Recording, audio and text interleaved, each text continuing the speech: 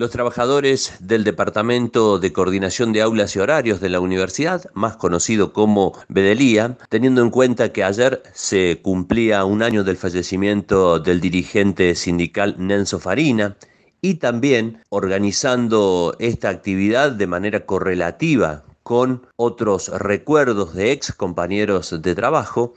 han dedicado en uno de sus espacios de la oficina central de Bedelía unos pupitres en homenaje a la memoria de don Jorge González, quien fuese durante mucho tiempo el jefe de este departamento, y también del querido y recordado compañero Carlos Lazarte, quien por supuesto también dedicó gran parte de su vida a las tareas cotidianas respecto de todo lo que se hace en la vedelía central de nuestra universidad. Además de los dos pupitres en homenaje a estas personas que mencionamos, también se colocó una foto del dirigente local Nenzo Farina, que como todos sabemos tuvo alcance nacional en lo que realizó durante más de tres décadas por los trabajadores no docentes de Río Cuarto y también por los de todo el país cuando estuvo al frente de la Federación Argentina que los nucleaba. Una actividad que se realizó en Bedelía Central de nuestra universidad, por supuesto,